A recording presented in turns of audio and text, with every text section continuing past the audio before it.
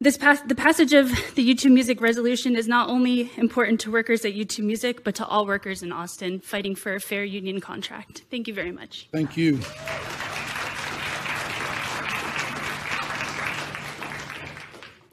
Jack Benedict.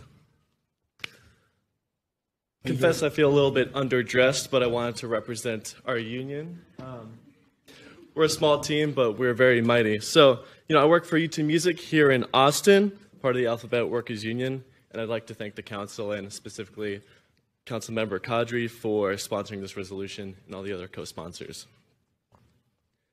It's been over a year since we first went on strike over our employers' return to office policy. Now, this isn't because we just didn't want to go into an office, but essentially it was a layoff against a large percentage of our team who didn't live in the Austin area. Again, in September, we went on strike over our employers' refusal to bargain with our union. To this day, they refuse to come to the negotiating table, and Google still refuses to acknowledge us as their employees even after countless losses in court which say the contrary. Needless to say, this has been a long fight. We've had many victories, such as unanimously winning our union election and having the NLRB declare Google and Cognizant as joint employers. But we still have work to do.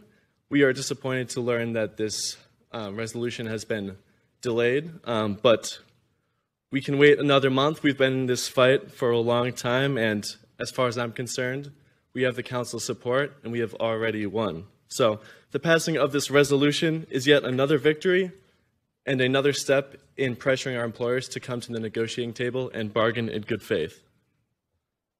There are less than 50 of us at YouTube Music, and we're taking on two of the largest corporations in the world.